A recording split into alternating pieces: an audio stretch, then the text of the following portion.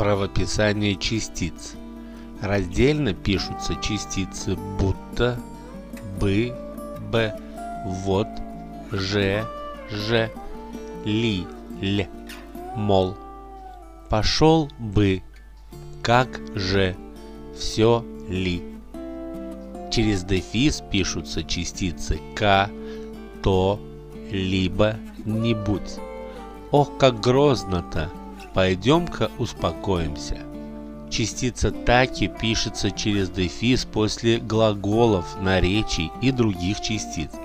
Посмотрел-таки, опять-таки, все-таки.